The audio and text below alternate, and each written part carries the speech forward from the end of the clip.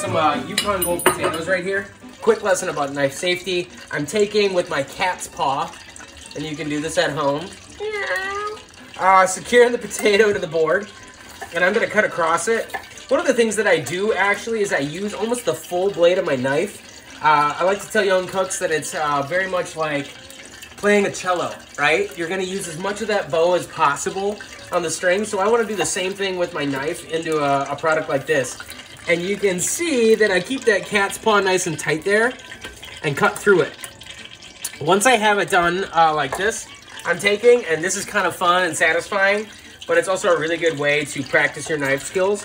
And I get them stacked up like this, and then I come across the same thing with that cat's paw, just securing them to the board and push down here. All right, so these are the stack of fries. Now, if we were doing this in the restaurant, I would tell the cooks to do it into a bowl of water, water, um, water. do it in a bowl of water so that they don't discolor. Uh, but tonight, since we're doing these for home, uh, I'm just gonna get them in there and I'm gonna do a double fry. We're gonna drop them once, we're gonna pull them out, and then we're gonna go right back in, and it'll help crisp them up. And I'm gonna actually wait to to do the second fry until my steaks are off the grill. So we're just gonna take and check on these fries. Ooh, they look good. We wanted them to get a little bit of color, so we're gonna give them just a second. The next ingredient that I have in the house is gonna be a little bit esoteric. And I'll let you watch me break it down. Wicka, wicka, wicka. Who wants to get this steak on? so this is the product that I don't actually expect you to have at home. Uh, this is something that, um, you know, sometimes, from time to time, we'll snag at the cafe. This is a rib roast. The standing rib roast. So, what you can see is I, I'm gonna rake it open. You go to the steakhouse, get a ribeye here. I'm gonna pull these out for a little bit. Let them kind of chill. Until we get closer with the steak. Until we get closer with the steak. We're gonna, uh, we want to make sure that uh, majority of these are really gray and ashy uh, because that means that they're really hot and we burned off a lot of the kind of dangerous, harmful chemicals that are in charcoal. So we are going to take this and we're going to cover it up a little bit. We're going to let those grates get nice and hot and I'm going to season the steak. We'll go back inside and I'll show you that. But it's like super simple. At the cafe, literally two ingredients go on all of our beef. Uh, our beef comes from Organic Prairie. We put salt and black pepper and that's it. And that's the key to making a really good steak. Enough salt and black pepper. All right, we're gonna throw a little bit of uh, Driftless Organic sunflower oil on there, um, or any oil. I, I just like it because it's local. It also adds this nice bright sunny flavor, which uh, you know I can't get enough of right now. So we're gonna get this over the hot part of the coals. Mm. What about the fiery parts? That too. All right, so we're gonna let this sear. Get all that smoke up on there. All that fat's gonna drip onto the actual charcoal. And uh, it really kind of helps perfume the meat, which is lovely. Um, we're gonna get this covered up.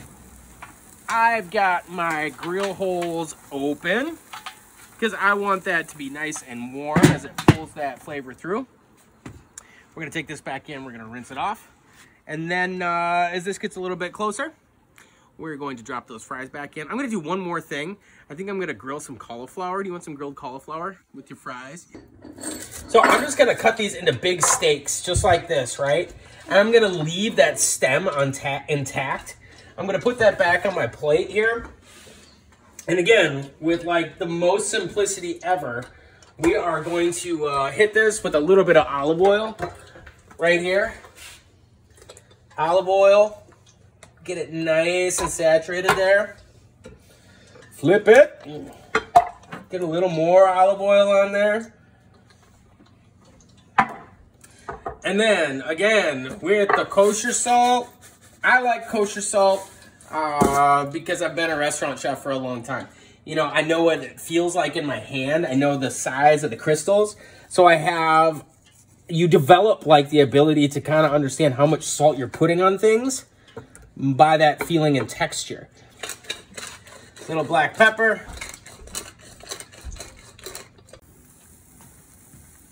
Mm. So we can see one side of this. Already, we've got a nice, nice sear going on that side. I'm gonna push it off a little bit of that heat to let it relax a little bit. Because you can see it's starting to seize. One of the things that I didn't do with this uh, ribeye is I didn't take the time to kind of clean off a lot of that tendon on the outside. On the outside. And when you don't do that, that's when you get that uh, curling on the meat that comes up. I'm gonna take and just drop this cauliflower also on the grill. And one of the reasons uh, we all kind of really dig uh, grilled cauliflower is because when it comes off of the grill, like with this intense heat there, it has a real tendency to caramelize it. And when it caramelizes it, it sweetens it. I don't know what I'm doing. mm. Mm. All right, let's put this lid back on. Keep those flames down. We're gonna choke this out just a little bit. All right, we're gonna give this about 15 minutes to cook, and then uh, we'll be back to show you the dramatic conclusion of Dinner with the Zahms. So you asked me nine times out of 10 how I want my steak prepared. I'm gonna say rare, like really rare, because I love the flavor of the beef and I want it to be super, uh, super I don't know. I think it's just delicious. It's not charred. You don't get a lot of the overcooking flavor. But when it comes to ribeye, because it's got that fat in the middle, I want it to be just a little more cooked. So, one of the ways that I test for doneness is uh, using the hand test, okay?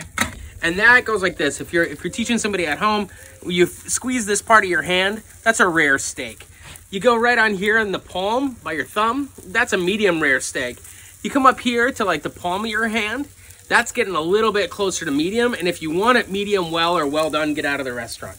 Uh, Ruthie doesn't like that so much. She's like, uh-uh, you can't say that. No. Uh, anything over than that, you know, like I feel personally, professionally as a chef, that you kind of are taking the love out of the meat. But some people will love it. So, you know, who am I? I'm just an old chunk of coal. so we've got the cauliflower here. You can see we got that caramelization the Maillard reaction. It's charred on the outside, which is great. We're gonna pop that right up on top. Nice and crunchy. Nice and crunchy. We're gonna leave this last piece on here just a little bit longer. Now, the really important thing to do is just to let all this rest. And actually, one of the things, one of the reasons I brought out two trays is I don't want it to necessarily rest on each other uh, because you don't want it to overcook. You don't want it to steam. We don't want DJ Gray Beef making a special appearance tonight.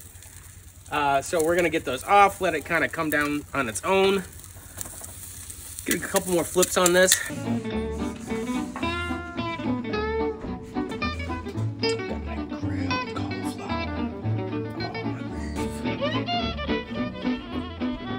It's beef. It's beef. What's that?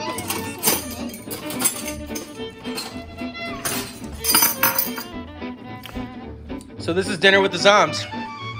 Hope you enjoyed it. We're here with famous uh, and famed restaurant critic Arlo Onion. Arlo, please uh, give us your rundown on, on this meal. Well, uh, I think uh, we're first off cooking with a very overrated chef. Uh, really thinks a lot too much of himself. Um, so you know, when he's cooking, he's way too overconfident, and that's where you run into things like this right here. Uh, don't know what it is, but it sucks. um, it's it's an okay meal. I mean, French fries are good, but when I took my first bite, it definitely burned my tongue. So I give it about a 2.5 out of 15. Some of you may wonder what we all look like at home.